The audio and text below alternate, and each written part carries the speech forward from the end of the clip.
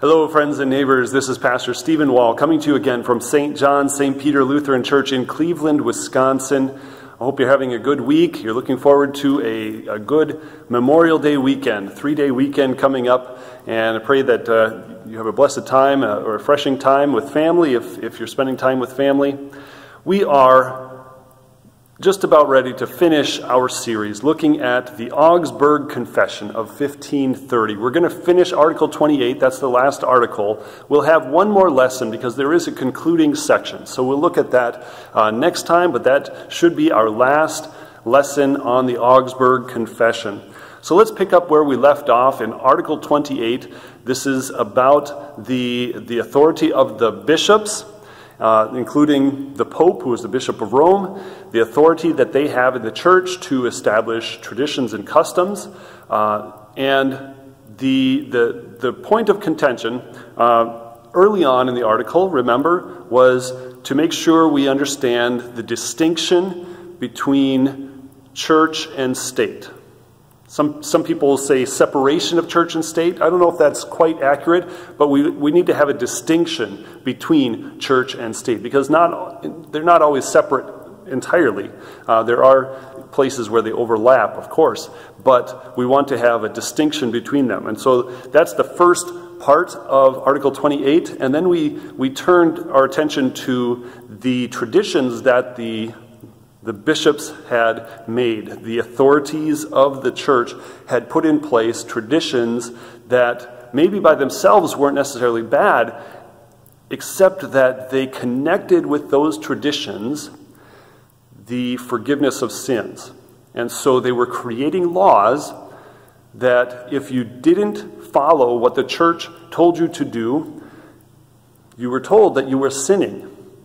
And if you did do what the church told you to do, you were told that you were earning forgiveness. You were earning out your way out of purgatory uh, that much faster. You were earning grace from God by doing those things. And so the Lutheran confessors took issue with that, this work righteousness that was connected to the power of the bishops in establishing church customs and traditions. Now, traditions aren't bad. Traditions can be a good thing, but we don't want to make them into something that earns salvation for us. And that's the real uh, contention that the Lutheran confessors had. And so, um, as we go on now in paragraph 55, we see how the Lutheran confessors recognize the value of some traditions. And the Lutherans in general tried to hold on to as many traditions as they could, but any traditions that, that were, were intertwined with work righteousness, those are the things that, that they sought to undo. So, beginning at paragraph 55, as long as it does not offend others, churches may properly follow such customs in order to preserve love and peace. In this way, all things will be done in the churches in an orderly way and without any confusion. They should do this in such a way that no consciences will be burdened by thinking that obeying these customs is necessary for salvation. And no one will think that they are sinning when they do not observe them, yet do not offend others.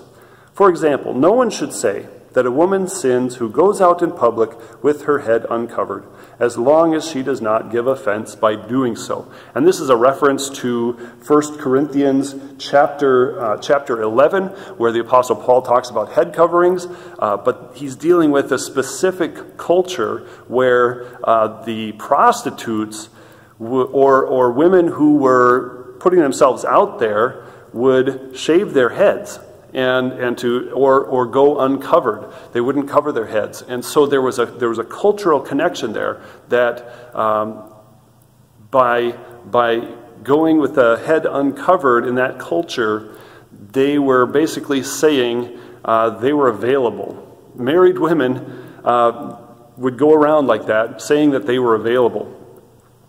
And so Paul discourages that. But that's a customary thing. It's a custom that deals with a particular culture. And the Lutheran confessors are saying, we don't practice that. The Catholic Church doesn't practice that. Why? Because it's a custom that uh, in one culture is going to cause offense, but not in German culture, not in Roman or Italian culture. So, going on. Paragraph 57 Observing the Lord's Day, Easter, Pentecost, and other holy days and rituals are customs of this kind, for those people make a big mistake by claiming that the church, by its authority, has decreed that Christians must worship on Sunday rather than the Sabbath day. For it was Scripture that did away with the observance of the Sabbath day. The Bible teaches that since the gospel has now been revealed, none of the ceremonies of the law of Moses need to be followed. Yet, since a day did have to be chosen so that Christians would know when they should gather for worship, it seems that the Christians chose Sunday for this purpose. It seems that this day was chosen for another reason as well. It gives people an example of how to use their Christian freedom and shows them that it is not necessary to observe the Sabbath nor any other day in particular. So we are able to worship on Sunday, or we can worship uh, on other days of the week. Many churches, especially during the summer, offer a midweek service for those who maybe work over the weekend or if you're out camping over the weekend, and we have Christian freedom to do that. Sunday is, I think, a valuable day because sometimes we talk about it as a little Easter. Every Sunday we are celebrating the resurrection of Jesus that happened on a Sunday. But we have Christian freedom to worship any day of the week. There are a great number of arguments about the changing of the law, the ceremonies of the new law, and the changing of the Sabbath day. All of these have arisen because of the false belief that the church must have some set of laws, like the Old Testament Levitical laws, and the false belief that Christ had commanded his apostles and bishops to invent new ceremonies that people must obey to be saved. These errors slipped into the church when it was not being taught clearly that righteousness comes by faith. Some people argue that worshiping on Sunday may not be a command of God, but it is like a command of God. Then they make laws about how much work can be done on these holy days. Such arguments only become traps for people's consciences for although they try to change the traditions, yet this lessening cannot bring real improvement as long as the thought remains that they are necessary. This will be the case wherever the righteousness of faith and Christian liberty are not properly understood. The apostles commanded Christians not to eat meat with the blood still in it. Who obeys this command in our day? And yet the people who do not obey it are not sinning, for even the apostles themselves did not wish to burden people's consciences with such claims. To avoid causing offense, they banned for a time the eating of meat with the blood still in it. For this decree must always remind us what the purpose of the gospel is.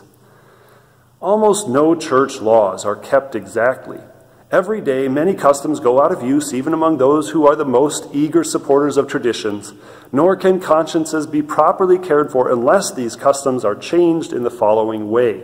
Church laws must, uh, may be obeyed if this is done without teaching that they are necessary, and consciences should not be harmed even when traditions change. But the bishops might easily get the people to obey these customs if they would not insist that they keep traditions which cannot be kept with a good conscience. They now demand the priests remain unmarried. We dealt with that in an earlier article.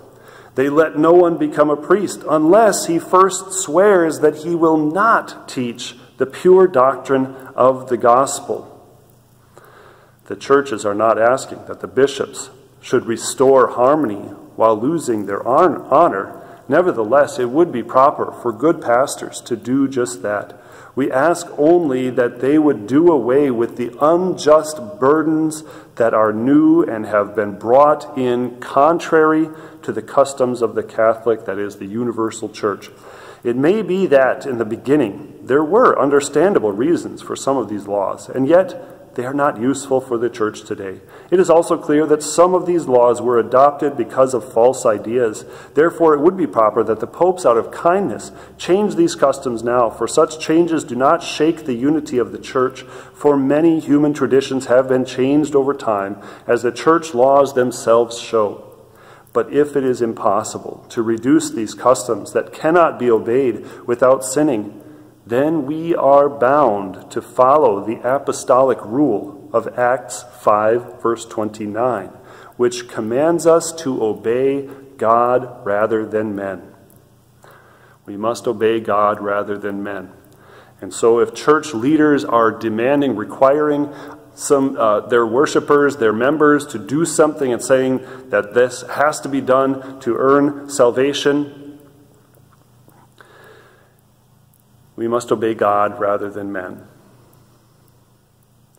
Peter forbids bishops to be lords and to rule over the churches. It is not now our plan to take earthly power away from the bishops. We only ask this one thing that they allow the gospel to be taught purely and that they do away with a few customs which cannot be obeyed without sinning.